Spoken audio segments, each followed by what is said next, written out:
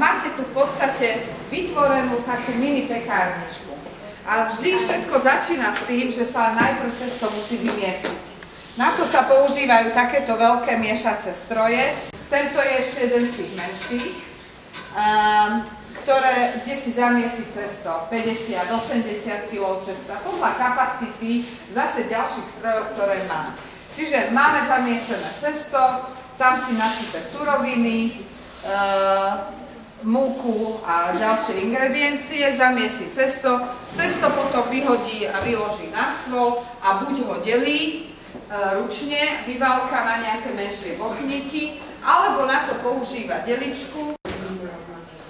V princípe to pracuje tak, že tu delička má takéto plato, na to sa rozloží cesto, napríklad 3-kilové cesto, má tu 30 dielikov, Tie diely, to cesto sa vloží sem do deličky a nastavia sa určité hodnoty, ako, ako to má rozdeliť, na aké klonky, na aké dielky a e, aký čas šlajfovania, to je taký pekársky výraz, to je zakružovania cesta a že z neho vyrobí takú malú žemličku. A už stroj automaticky začína sa pracovať. Vidíte aj e, v marketoch, že mávate polotovarov, eh, výrobky, že sa dopekajú.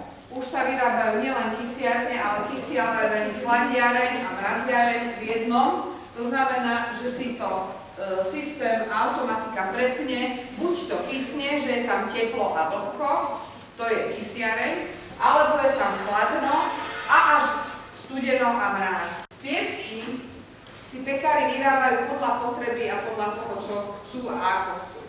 Uh, buď, buď je taká malá piecka, kde sa zasúvajú, to sa volajú teplovzdušné piecky, alebo etážové piecky, alebo pizza pece. Táto časť, ktorú, do ktorej ste prišli, e, je servisné stredisko. Je vám jasné, že každý jeden stroj, keď sa používa, tak sa aj pokazí, e, znehodnotí, zničí, zoderie a tak ďalej a tak ďalej. Máte to ako s autami, aj auta sa používajú, berú sa pneumatiky, e, musíte tam dávať šťavu, olej, benzín a tak ďalej. To všetko potrebujú aj stroje.